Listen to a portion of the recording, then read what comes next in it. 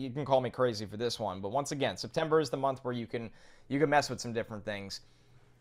The Vogelbach spot for McNeil intrigues me a little bit because you would obviously have Lindor and Pete who do a good job of getting on base, and then McNeil who's really good at driving in runners, and then Vogelbach pushed down of the order does give something that McNeil really doesn't to the bottom order, which is some pop.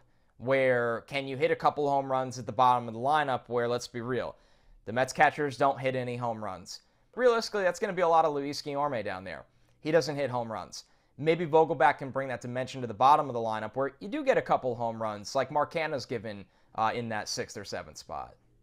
That's an interesting idea, and you can kind of so you take McNeil, you shift him into the five spot, you drop Vogelbach down to seven. Yes. And then you have your three best on base guys at the five, six, seven spot, yes.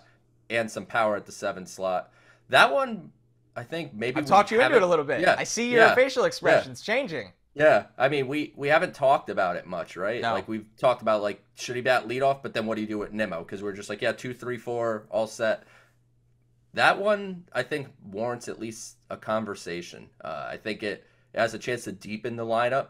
And you take McNeil's, you know, batting average, on base skills. Now he's batting with Nimmo on base, with Marte on base, with Lindor on base. And now he's in a better position to drive those guys in. Could that be more effective than just Vogelbach, the the masher and the and the guy who takes walks at the five spot?